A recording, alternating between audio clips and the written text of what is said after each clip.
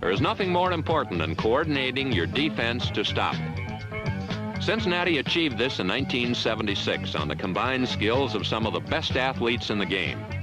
Men like cornerback Lamar Parrish and strong safety Tommy Casanova, number 37. Leading 13 to 10 early in the fourth quarter, Dawson passed to Dennis Homan, who was hit by Neal Craig and lost the ball to Tom Casanova, a rapidly emerging star in the Cincinnati secondary. Since the offense wasn't scoring, it was up to the special teams to get things going in the right direction. Tom Casanova, number 37, the rookie from LSU, did just that.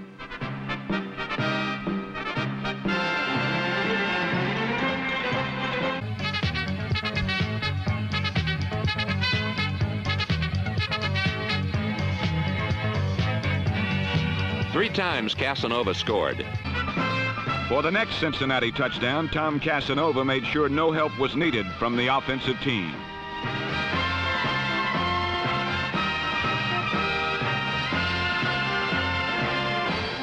Jones came right back with another touchdown on his very next pass. Unfortunately for Jones, this one was the Bengal safety Tommy Casanova, who completed a 31-yard interception return to tie the game at seven. Looking at the play from the end zone reveals that Jones was trying to hit tight end Ray Chester, but committed the Cardinals sin on the out pattern as he underthrew, enabling Casanova to step in front and pick off his pass.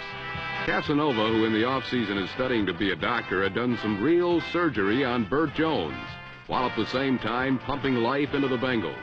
The Bengals had fashioned their lead thanks to their own heads-up defense as they continued to bottle up Bradshaw.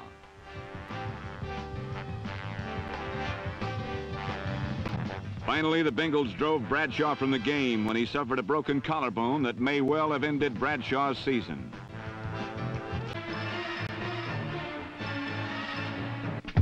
Tampa Bay's so-called offense has scored only one touchdown all year. Last Sunday, the Cincinnati Bengals feasted on the bumbling Bucks, shutting them out 21 to nothing. Bernard Jackson, Riley, and Casanova. Together, the AFC's finest against the pass. Exceptional talent, shared accomplishment, and absolute confidence in themselves to carry out an assignment as called. All of this made the Cincinnati defense a total team.